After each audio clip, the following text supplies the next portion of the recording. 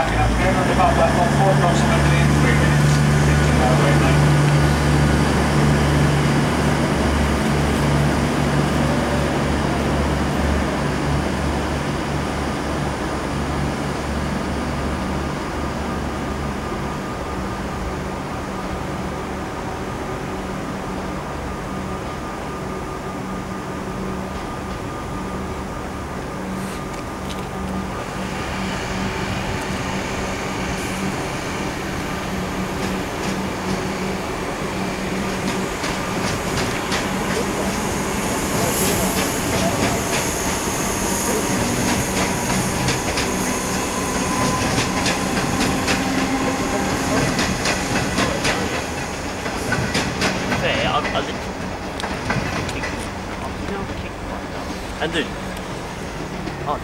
Sorry.